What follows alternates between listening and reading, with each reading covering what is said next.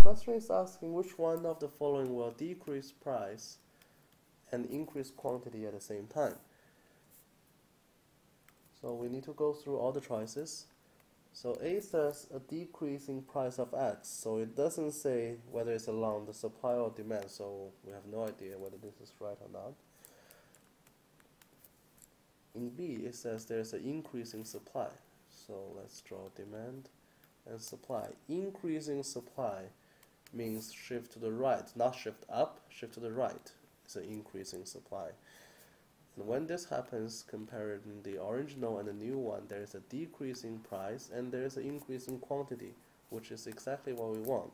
So normally we will stop here, but well, let's continue to see why the other ones are wrong.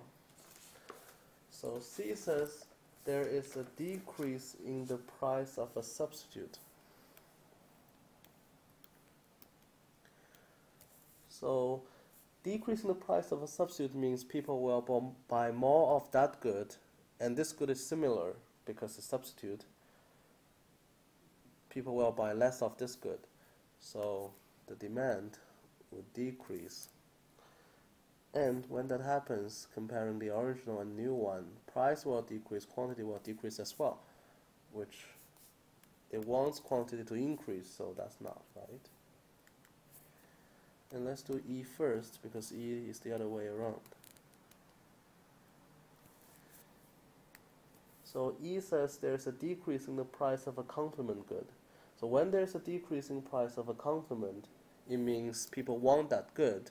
And because they're complement, they are used at the same time. So people want this good as well. So there will be an increase in demand. And when that happens, there is an increase in both price and quantity. But here we want a decrease in price, so this is not right too. So let's see the last one. D. So demand, supply. It says there is a decrease in income when X is inferior.